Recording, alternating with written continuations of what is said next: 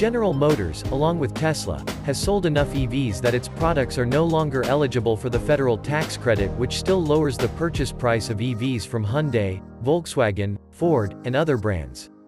So what to do when the government won't help lower prices?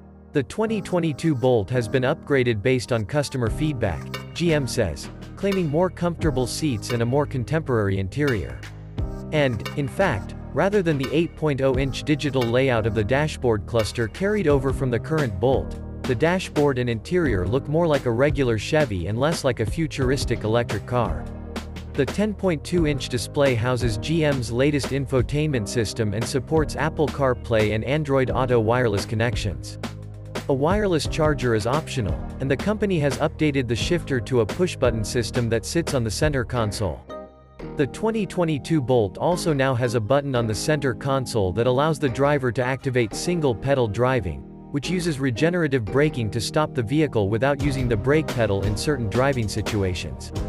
When the driver lifts his right foot off the gas pedal, the EV begins to slow down, instead of sliding like a traditional petrol vehicle. It was as if the person behind the wheel had gently stepped on the brakes. When the vehicle slows down, it recharges the battery. With a little practice, EV drivers can get around town using only the accelerator pedal. While the look got an upgrade, the bolt size has barely changed. It's the same 69.5 inches wide, but half an inch taller at 63.4 inches and about 0.8 inches shorter, lengthwise, at 163.2 inches. This leaves the Bolt EV roughly the same size as the now more expensive 2021 Kona Electric. Luggage space is 16.6 cubic feet, 0.3 cubic feet less than the 2021 model. With 60-40 its split seats down, that goes up to 57.0 cubic feet.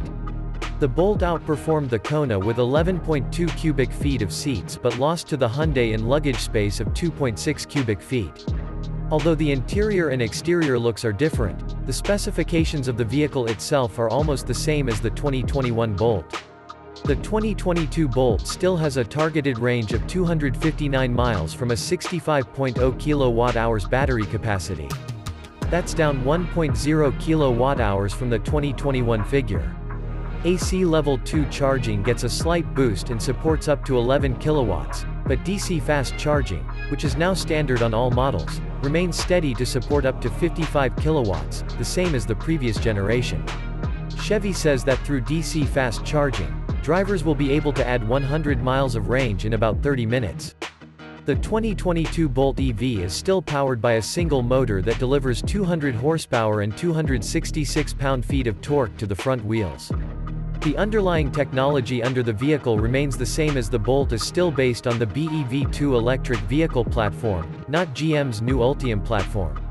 In fact, GM Bolt and Bolt EUV CEO Jesse Ortega said during a phone call, there are no plans to incorporate the Ultium system into the Bolt EV or Bolt EUV.